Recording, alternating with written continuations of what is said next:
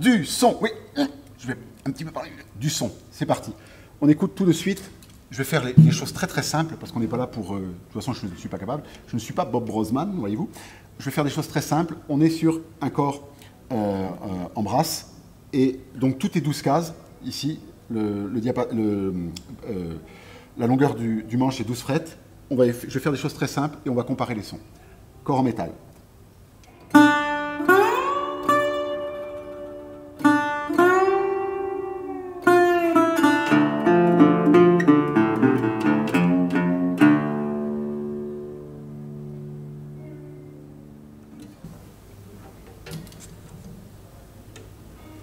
Exactement la même guitare, le corps, hop. Exactement la même guitare avec un manche cette fois-ci en érable, donc un peu plus sec, et le corps en bois.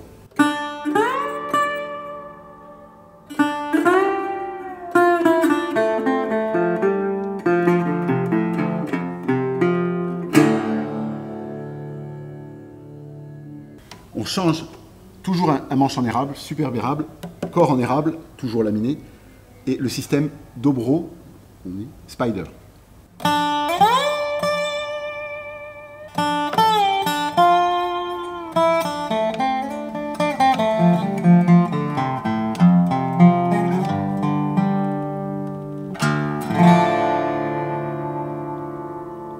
Sons complètement différents. Évidemment, la grosse différence vient du Spider. C'est pas du tout, du tout, du tout le même son.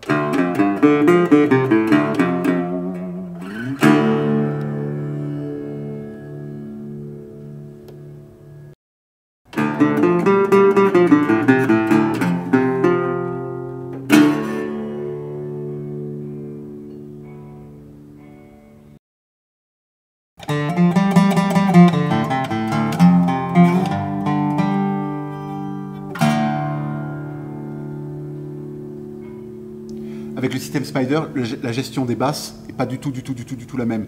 Les single cone euh, euh, biscuits ont vraiment euh, des basses. Là, les basses sont pas du tout pareilles. Par contre, on a vraiment des aigus. On va voir sur un truc un petit peu rapide comme ça.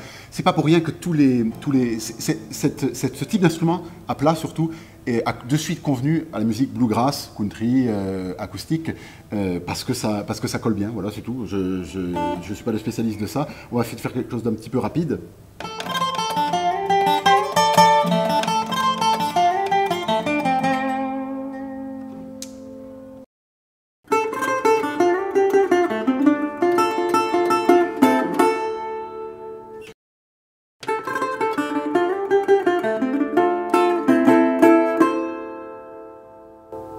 J'avais prévenu, je suis pas Bob Brosman, hein, mais c'est vraiment très intéressant d'utiliser ça dans la tête, de dire, euh, euh, on va, imaginons, on a une télécaster. Vous allez jouer de la country tout le temps, tout le temps de la country parce que vous avez une télécaster? Non, non, non, un instrument. sou- sou- Souvent, moi, quand je sors un, résonateur, on me dit, ah génial, ta guitare de blues. Mais non, je suis désolé, je fais pas de blues. C'est pas que j'aime pas le blues, c'est que j'en fais pas. C'est que c'est vraiment un instrument à amplification mécanique très particulier, qui a une couleur sonore très particulière.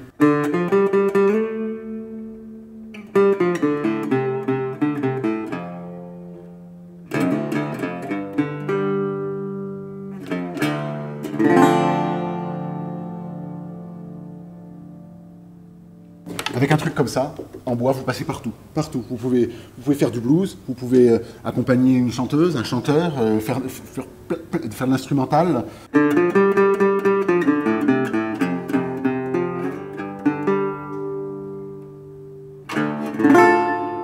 Ici, c'est plus typé. Le métal, on l'entend. Il a pas. Tu vas me dire, euh, évidemment qu'on l'entend puisqu'il est partout. C'est logique, mais oui, mais c'est une fois de plus pour casser ce claque casser la tête à une idée reçue que le corps, le corps, la matière du corps n'a aucune importance, c'est primordial.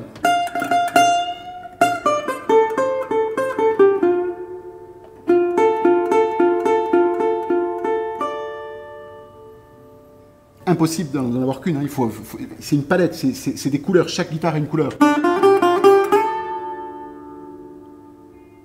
Je reviens très très rapidement sur le travail de Mike Lewis. Vous entendez cette- la, vibration et cette ouverture, cette ouverture, mais surtout cette ouverture de son. Et le son est maîtrisé. Vous vous voyez, c'est ça la qualité, c'est ça le haut de gamme. Maîtrisé et équilibré, parce que si je fais des basses,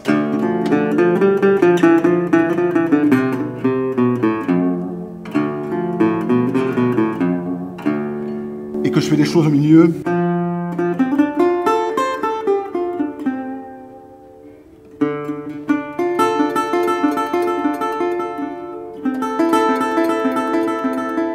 c'est super équilibré. Vous imaginez un vrai guitariste qui aurait ça dans les bras, on, rêverait.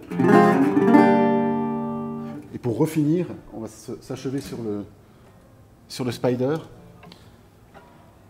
Souvent Spider, souvent à plat, comme ça, avec le style bar, tu vois, comme Pascal Meignier, comme euh, euh, Mr. Blackstone, ou des gens qui jouent à plat, les, vrais champions du monde du, jeu à plat. serait souvent Manu Bertrand, on est en France. Et étonnamment, le mettre, le jouer en neck, ça amène un truc incroyable. Un son, je, vais- le refaire, hein, tu vois, parce que tu vas dire que je parle tout le temps, mais non, mais c'est- juste un son un petit peu plus étriqué, plus, tu vois, mais justement super intéressant. On va te remettre un coup de bottleneck.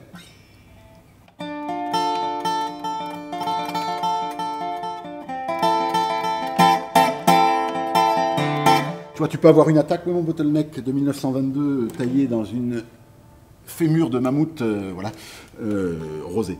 Euh, c'est sûr qu'en slide, le alors intéressant comme ça, hein, mais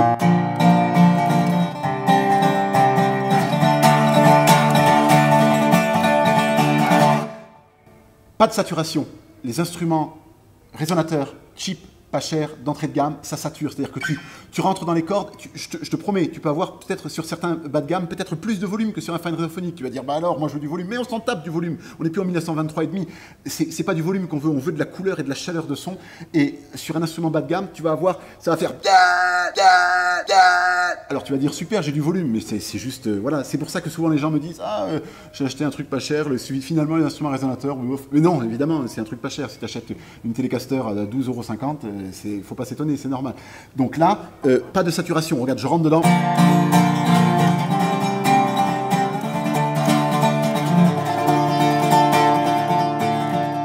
Et à la fois.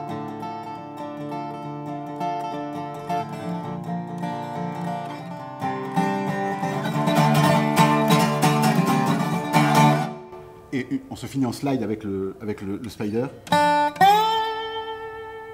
Mais c'est ça qui est beau, c'est ça qui est in- inimitable.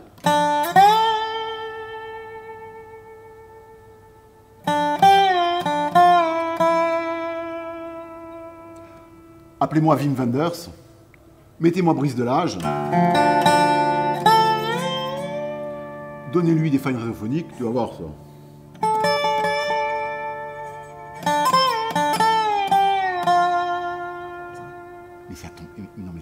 Fracasser la tête. Non,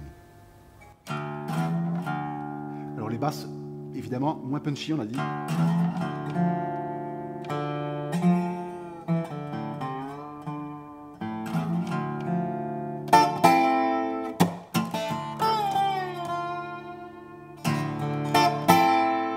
Remets un coup de slide tant qu'on l'a dans l'oreille, tant qu'on l'a dans l'oreille, un coup de slide, regarde, regarde.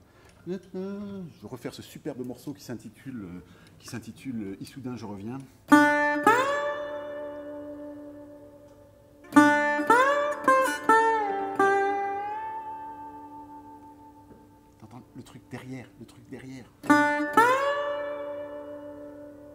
Et derrière, t'as- t'as un- cargo, t'as un porte-conteneur de vibrations.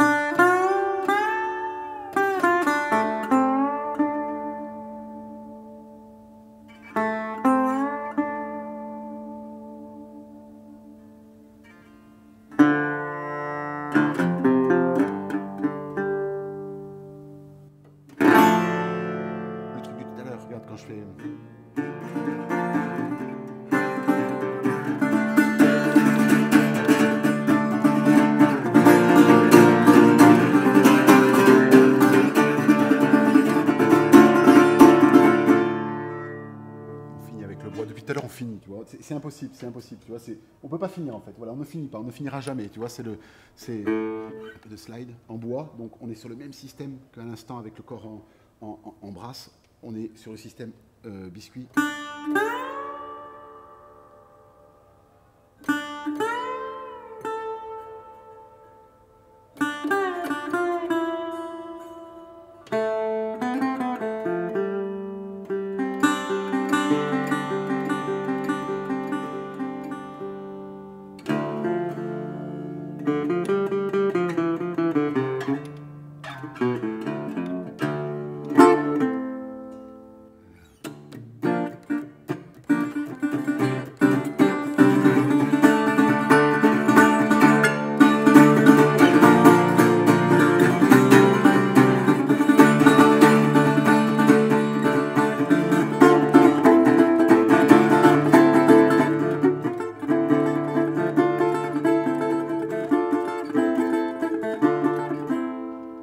N'est pas Bob Brosman qui veut, je suis assez d'accord avec vous, mais ce que j'ai voulu, euh, euh, à travers tous ces petits exemples, du mieux que j'ai pu, c'est vous faire vraiment entendre cette différence qui est, qui est passionnante et surtout, malgré tout, méconnue peut-être du grand public. Je sais que les spécialistes sont légion, mais c'est vraiment de se rendre compte de ces différences-là.